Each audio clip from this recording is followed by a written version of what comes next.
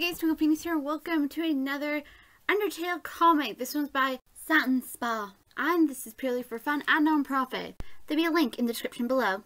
Am I cool now? God, yeah, super cool. Pop. Hey, Pop, look at my little doppelganger. Isn't it cute? So tall. Nah, you're still cuter.